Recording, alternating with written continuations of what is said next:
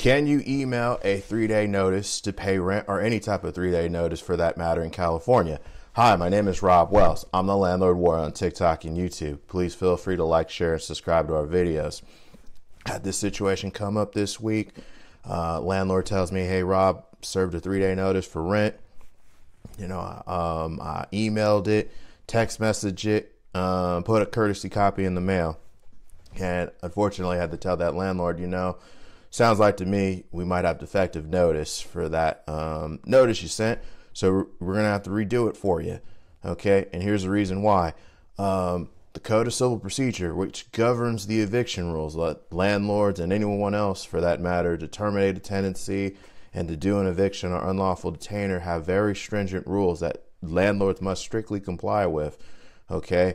Um, one of those rules, in order to successfully evict someone from a piece of property, is you have to follow the rules of serving the legal notice of termination of tenancy. Okay, and email notice is not in um, the Code of Civil Procedure as a method of service. Okay, at least for a residential tenancy um, at this point right now.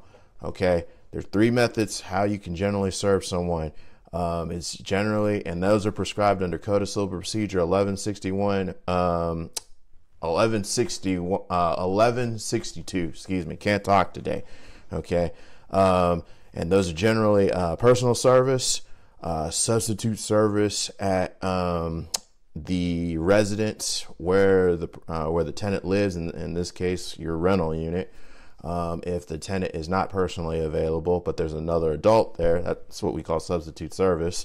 And um, if no one um, appears at the residence at the time you're trying to serve the notice, the law allows you to post and mail um, the three day notice. Okay.